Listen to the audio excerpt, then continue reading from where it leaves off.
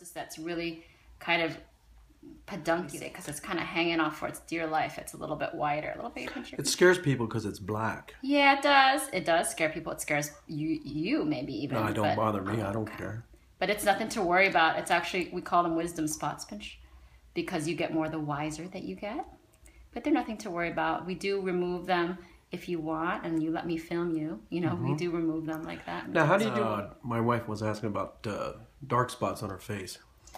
That's a little different. One. You can't really, really remove them this way, obviously. Well, she, those are like from this. when she was on birth control pills, I guess. Yeah, you can get a little bit of pigment discoloration. There you go. One's gone. So there's nothing to do for that. Well, there's things you can do. It's just they're considered cosmetic, and you know, Uh-huh. I, I have to. I'd have to see her to be able to decide what we want to do. So yeah, I can see her. That's it. All gone. All cleaned up.